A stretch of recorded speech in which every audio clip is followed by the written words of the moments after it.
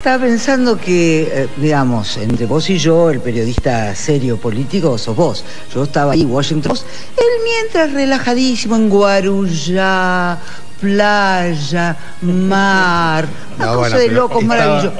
Tenía un motivo, estaba detrás de una primicia mundial.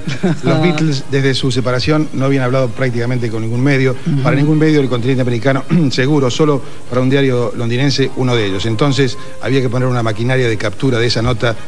Y eso fue lo que hicimos, porque. ¿Y vos, pero cómo conseguiste ese Necesitamos un aliado que, que era Emerson Que Fittipaldi. Fittipaldi, claro. Se acababa de correr la carrera en, en Interlagos de Fórmula 1. eh, Harrison estaba presenciando la carrera. Fittipaldi eh, se convierte en cómplice. Me dice: eh, Voy a estar un- un- el fin de semana en una casa de la playa en, Guaru- en Guarujá. Y ahí. Y bueno, ahí hubo. Ahí, que- ahora vean, vean ustedes. Eh, agudizar un el ingenio. César, un César más flaco, menos canas, pero César. Al fondo, a mis espaldas, se recorta el perfil de la ciudad de Guarujá. Emplazada a 90 kilómetros de San Pablo, en la isla de Santo Amaro, sus playas, vaya novedad, están entre las mejores del Brasil. George Harrison, una figura fundamental de la música moderna, contra el que habitualmente rebotan los intentos de entrevistas, está allí. ¿Cómo ve el fenómeno que desataron los Beatles? how you see the the Beatlemania, all the the Beatle phenomenon because it's Yeah, it's like I don't know. It's um, something that happened. It just was like magic. It happened, and it was bigger than any of us thought. And uh, I don't know. Nobody can explain.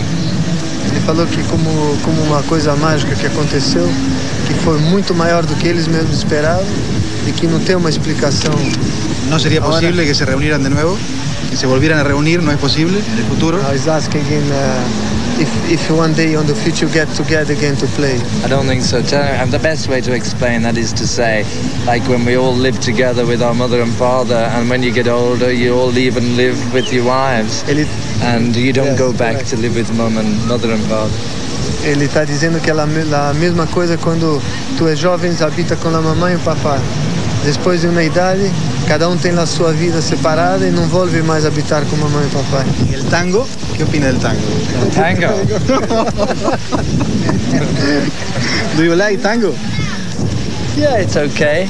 I don't dance. I don't dance. Bueno, en este bloque vos eh, hablando de política con Bradley y yo haciendo notas en dos idiomas.